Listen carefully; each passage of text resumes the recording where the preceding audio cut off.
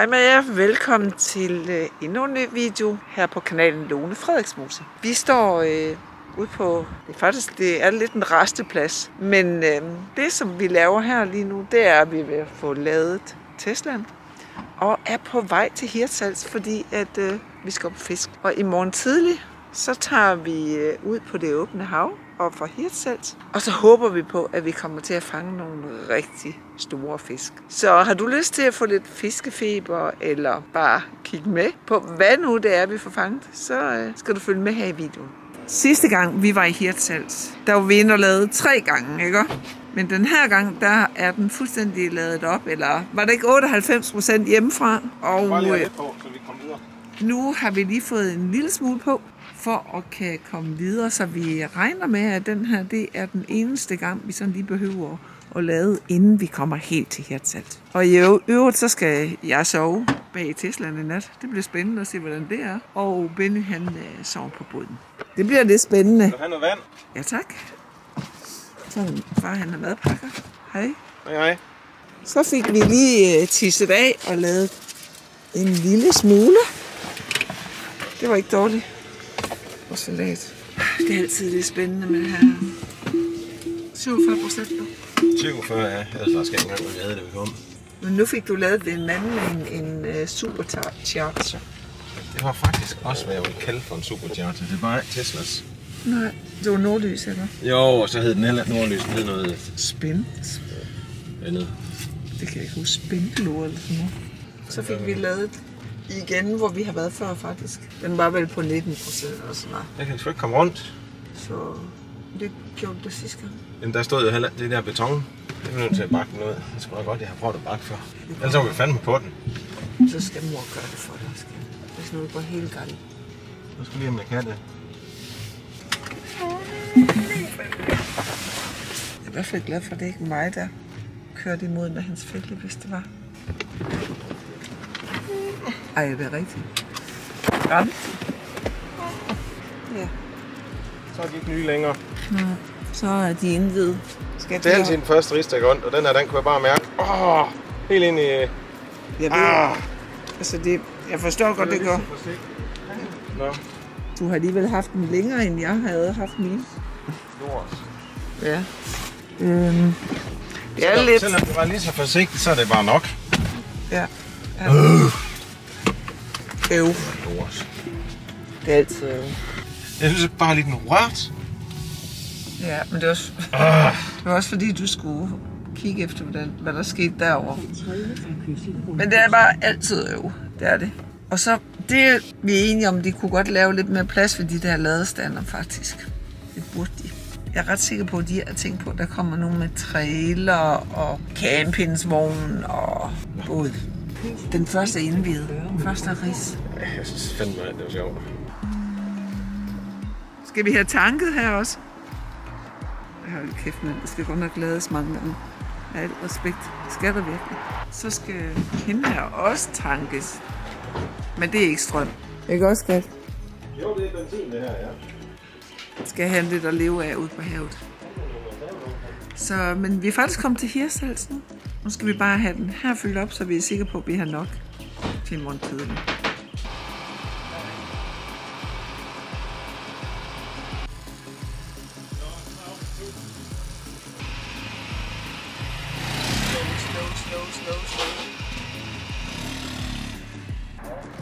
Så skal den til afsted, tror jeg. Ligger den for landet.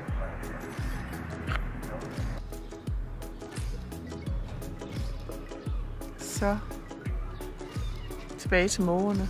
Nu når vi skal sove henholdsvis i båd og bil i nat, så skal vi lige have fundet ud af, om der er nogle toiletter i nærheden, som er åbne, så man kan få lidt vand i hovedet og få børstet tænder. Så er det okay? Ej, det er dejligt. Det ville være mega dejligt, hvis det var. Fordi det er lige der slæbestedet, den er. Så øh, hvis vi så kan komme til at holde her og sove os, så er det jo kanon. Lugter rigtig meget fisk her. Gud vide hvorfor. Det er nu lidt hyggeligt.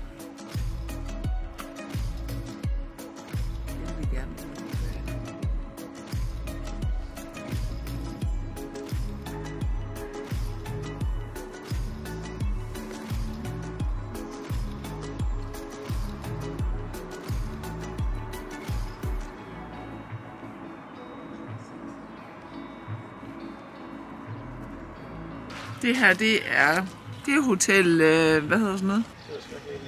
Det er hotel Jollehavn. Der er i hvert fald havneudsigt. Og så det her ingen køjeseng, men det er sådan en det er senge lige efter hinanden. Dut, dut. Hovedet lidt højt. Bop. Og kom her om med din telefon. Har lige været i seng. Og så en lille smule ventilation. Skal nok blive godt. Ja. Altså her der er rigeligt med plads her til mig i hvert fald. Det er faktisk fint. Jeg kan godt sove hernede. Er du ved at lave det sådan, at jeg kan komme Ja. ud, hvis nu jeg skal op og tisse nat? Så bliver det et godnat herfra.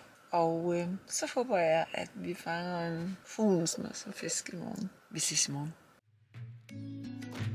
Godmorgen på den her video. Så er vi stod op og har fået lidt vand i hovedet efter en øh, nat i en Tesla. Natten havde sådan set været fin nok. Natten kunne have været meget værre, men til gengæld også meget bedre. Man skal i hvert fald huske en ting, det er, at hvis man skal sove i Teslaen, det er ikke Teslaens skyld. Men så lad være med at have båden bagpå, for Benny han sov i båden. Og hver gang, det er simpelthen vildt, men hver gang han vendte sig, så kunne man bare mærke, at det gyngede. Øhm, så der har været søgang. Så han sov før mig, og han var også over før mig, så det er begge. det ved der være noget. Det ved vi til næste gang. Nu er Jonas kommet. Jonas er kommet, og øh, når Jonas er her, så øh, er det jo fint nok, så behøver jeg ikke lige stå med og hjælpe i båden, så kan jeg få lov til at filme lidt. Som sidst, så skal vi jo have båden i vandet her ved Slæbested. Det er sådan en faktisk rigtig dejligt sted at sætte den i. Det er nemt at komme til og køre ned, så det er bare lækkert. Vejret er super. Det blæser en lille bitte smule, men ikke sådan det helt store. Vi krydser fingre for en god dag på havet.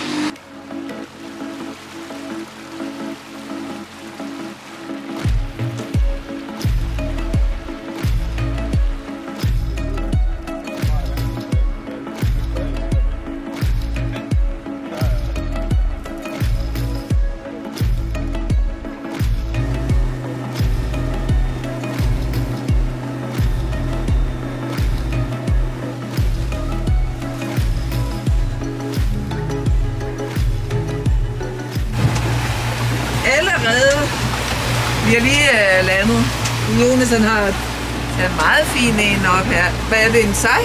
En lysej lukke. Altså det vil sige en lup og en lysej, det er det samme. Det gynger lidt herude i dag. kan I næsten se, ikke? Så skulle der gerne være nogle fisk her. Og vores følgebåd. Den er også med. Nej, nej, nej. Skal jeg slå den ihjel først? Nej, jeg skal godt. Det er bare de der tænder der, dem gider vi ikke have. Du kan tage, altså, ind i det ene skæld derinde, der er ingen tænder. Nej, det er rigtigt. Jeg tror også, den er fin, den der. Så har Benny et eller andet på. Har du også en? Nej, nej. Det er fint, at godt op, den der. Hvorfor var den så stærk? Der må have været en der. Nej. Ej, den er da også stor, den der. Jeg tror, vi er på en rekord. Ej, Ej, det var en Jeg ordentlig. tror, vi er på en rekord. Hold da kæft, et svin. En ordentlig basse. Jeg kan mærke hjertet, det slår. Ah, Jeg kan ikke lide den kigge på mig. 10,5. ej, 9. Øh, 29. Satan. Ah, 9. hvor står den henne? 10. Ej, Prøv vent lidt. ej. 10. Så skal jeg tage fat i halen i, så kan jeg Jeg op. siger 9, ikke om? 9,5. svinger mellem fra 9,20 til 9,5 eller sådan det var tæt over. Hvad skal den være for øh, den første måned? Altså, hvis det- En måned. Måler det Okay. til, Den er æder den er fin. Det er en ordentlig en, den der. Hva? Det ser ud til, at der går nogle enkelte store og gode derude. Ja, det gør det. Den har en lille hudorm der. Så fik mor også en lille fin toast. Som er med lange på krogen. Hvor det så her. Fandt du ud af, hvor tung den var? Nej, nej, nej, nej. Det skal vi først til nu. Nu vil jeg holde den igen. Det var bare ligge, men det forsvinder ikke. Nej, det er Hvad står der her? Står der 12 eller 11,5? Der står, men den kører mellem 11, 11.50 til, øh, 11.13 til 12. Så det, det er sådan et eller andet sted. Det er lidt kom an på, hvordan du holder dem. Nu er jeg lige gået ned i kahytten, fordi at, øh, vi er på vej tilbage. Og øh, i dag der er det jo Benny, der har fanget de største. Og heldigvis for det. Jeg tror, jeg er den, der har fanget flest arter. Og ja, så skal vi faktisk tilbage, fordi at Jonas har godt nok en ben, der er det ser sgu ikke for godt ud, og jeg ved heller ikke rigtigt, om han egentlig har det så godt. Så vi er på vej ind, men vi har kasten fyldt, og vejret har været flot. Det gynger lidt herude. Øhm, både Skipper og Jonas er ikke så søstærke, hedder det sådan. Hvis man bliver søsyg, i hvert fald. De har tendens til søsyg. Vi tager det stille og roligt ind. Vores følgebåd er også med. Nu kan vi lige prøve at gå ud og filme lidt ud fra. Det hammer lidt her noget, I kan Men det er ikke til at snakke, når man er ude, fordi det larmer sådan. Der har vi Jonas' fod, den har det bare ikke godt. Den blev lidt stille. Både lidt for en sodavand og en kiks. Før den bliver god igen. Ja, Det har han. Ja, ja, det har han. Men nu kan I se her bølgerne, de øh,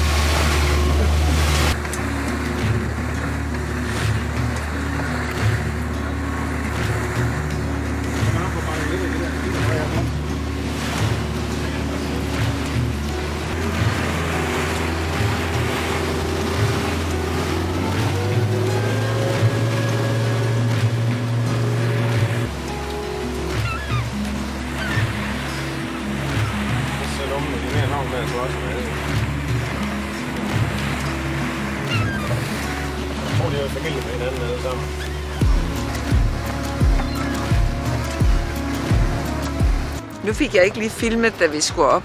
Og det var simpelthen fordi, at øh, Jonas, som var med os, han var blevet stukket af en bi i går. Og øh, som I lige kunne se her tidligere, så var hans fod enormt hævet. Og den blev faktisk ved med at hæve, sådan at øh, han blev tyk sådan helt op til knæen.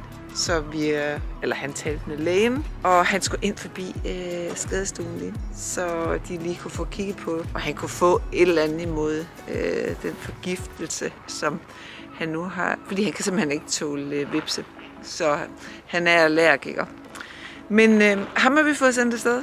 Benny og jeg har fået båden op, og der var faktisk også lige lidt problemer med at få båden op, fordi nu når man øh, skal have båden op af vandet, så skal motoren helst tip, fordi øh, ellers, hvis den ikke gør det, så vil den skrave på hernede, når vi kører på vejene. Og det samme gælder også, når vi skulle have den op på slæbestedet, så vil den del her af motoren jo gå på. Øhm, og, vi, og han kunne simpelthen ikke få den til at virke. Så øh, det tog lige lidt tid, men så viste det sig egentlig i bund og grund.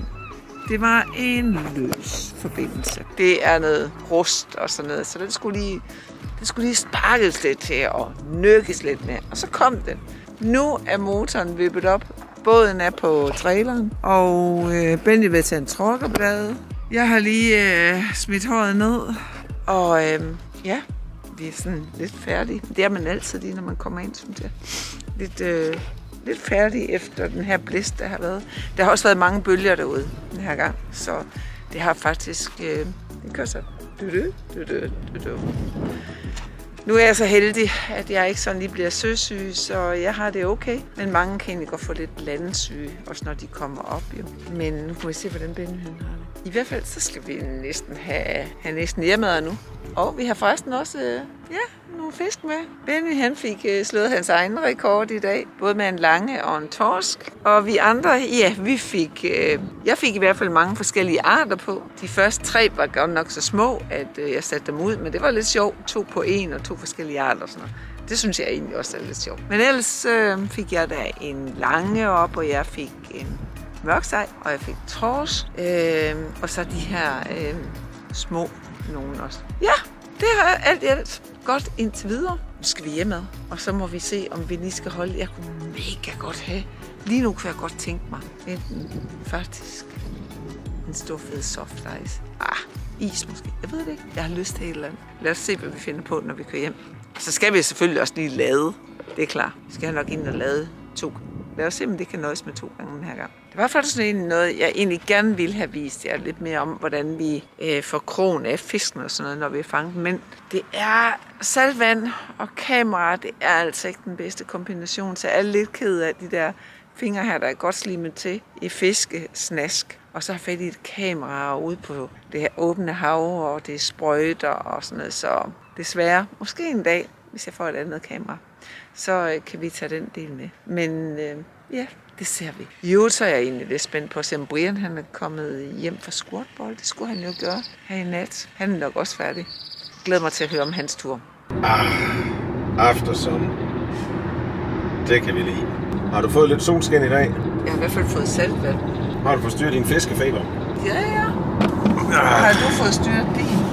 Nå, jeg ved sgu ikke, om der nogensinde kommer styr. Det tror jeg ikke. Jeg tror, det er sådan noget, man ikke kan helbrede ligesom kræft. Der findes ingen kur for det. Man kan sådan lige klare sig lidt ind imellem. Og så skal man bare afsted igen. Der findes altså kur for noget kræft. Nå. Jamen, det ved jeg ikke. Vil du afsted igen? Skal vi vende om? Jeg skal ikke det. Jeg synes godt, at man bliver for træt ude på Nej, det tror jeg ikke, vi skal. det der åbne hav der. Alle de der bølger der, det synes jeg alligevel er. Er det lidt hårdt? Altså, man bliver træt. Ja. Og så øh, har jeg sovet i en øh, Tesla med en båd bagpå, altså, og Bente deroppe i. Ja, den ligger jo altid lige så stille som nyfødt spædbarn. Hvad? Jamen, det er rigtigt. Det er mange, der ikke ved. Jamen, jeg bliver skræmt.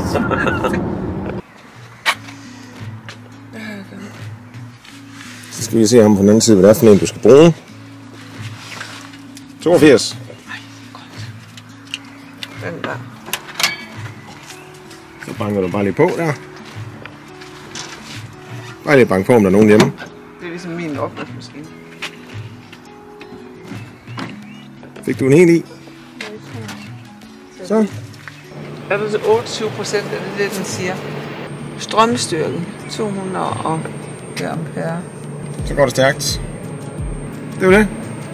Fint. Det var det. Så må du få den her.